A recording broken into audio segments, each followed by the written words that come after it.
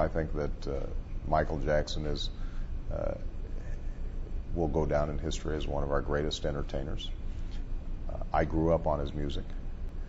Uh, still have all of, uh, all his stuff on my iPod. Uh, you know, I think that the, his brilliance as a performer um, also was paired with a tragic and you know, in, in many ways sad personal life. Um, but you know, I'm glad to see that uh, he is being remembered uh, primarily for uh, the great joy that he brought to uh, a lot of people through his uh, extraordinary gifts as an entertainer.